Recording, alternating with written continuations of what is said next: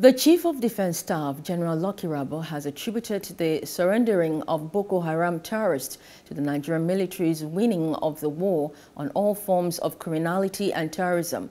He made this statement at the NNS Delta headquarters in Warri, Delta State.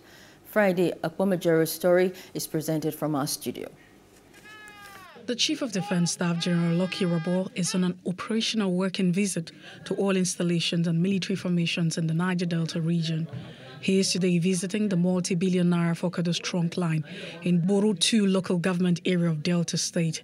General Irabor inspects the quarter guard and meets with senior officers before getting on a speedboat to trunk line. So you know that truly we're winning the war. Why? The pressures that you talk about uh, compared to the past is not, it's not as much.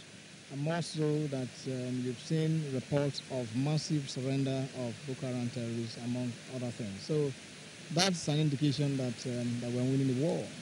Um, you know, in no distant time, um, we will see the totality of the of the end of uh, such kind of uh, criminality in, in, that part of the country.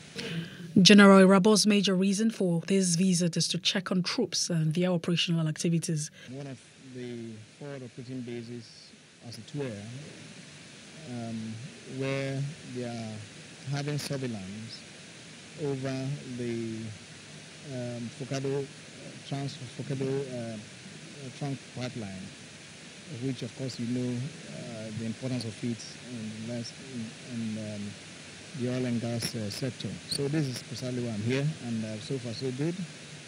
I believe that um, in due course we will get to know that um, um, the troops are doing pretty well.